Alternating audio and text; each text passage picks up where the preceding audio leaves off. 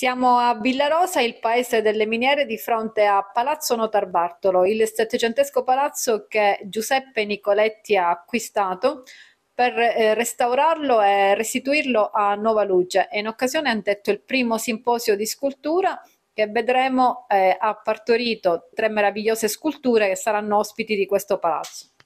Susanne Pauker e Susanna per l'Italia. Dalla Germania direttamente a Villarosa, cosa è venuto fuori dal blocco di marmo? Ecco, io ho pensato di fare una danzatrice tipica della Spagna, eh, di flamenco, che con tutto il suo corpo del movimento si muova anche il vestito eh, ho giocato con diverse finiture, con i capelli lasciati grezzi, così si, si apprezza anche questo materiale. Eh, altri parti sono lisciati bene e, sì, e ci siamo divertiti. Sì, Gregor Kirill, il giovanissimo 35enne dall'Estonia a Villarosa, cosa ha rappresentato in questo meraviglioso blocco di marmo di Villarosa? Uh, what does your work uh, mm. express? Uh, yeah, I make Spanish woman in classical dress of 19th century. Mm. She have this mantilla mm -hmm, and this all parts of this dress is classical for Spanish.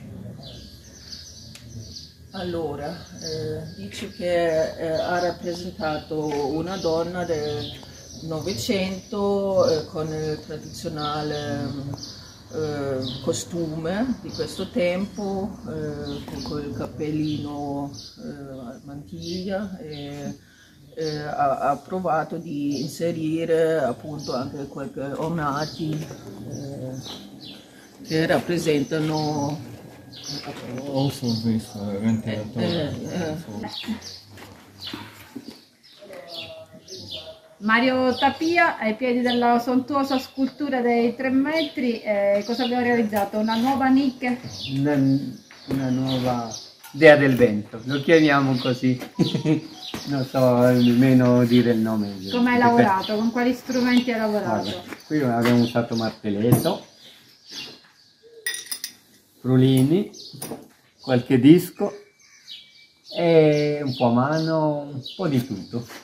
Sì. Tu vieni dall'Ecuador, però sì. abiti a Carrara, quindi sì. lunga esperienza nel settore de della pietra, eh, del marmo. Amiamo troppo Qual è pietra. la differenza fra la pietra di Villarosa, la, la, la pietra dell'Addea e, e, il marmo eh, di Carrara? La differenza di questa è che questa polvere è incredibile, vola, vola lontano, vola facilmente, però è morbidina, facile da lavorare, un po' abrasiva, però facile da lavorare con le, le scalpelle si lavorano. Cosa ti piace mm. dell'Italia, Mario?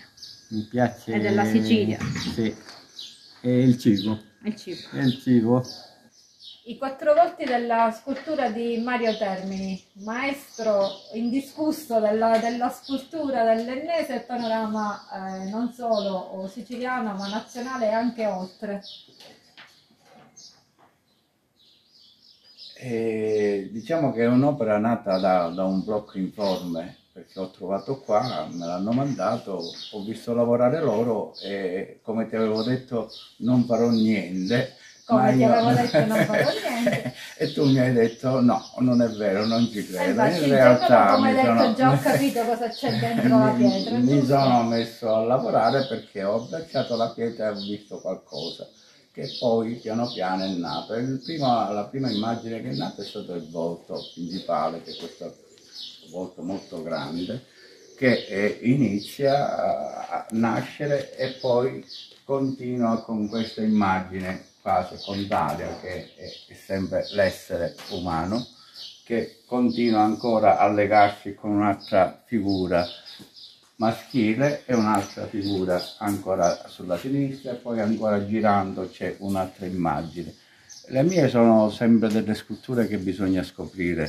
Ci accomodiamo così nel frattempo seguiamo quello che è lo spazio che sarà destinato ad ospitare le, le tre sculture a cui gli artisti praticamente lavorano già dal primo maggio. Il Steamfolk si concluderà oggi e ha dato vita a queste tre meravigliose sculture che verranno collocate praticamente in questo salone centrale, ancora da, da decidere come.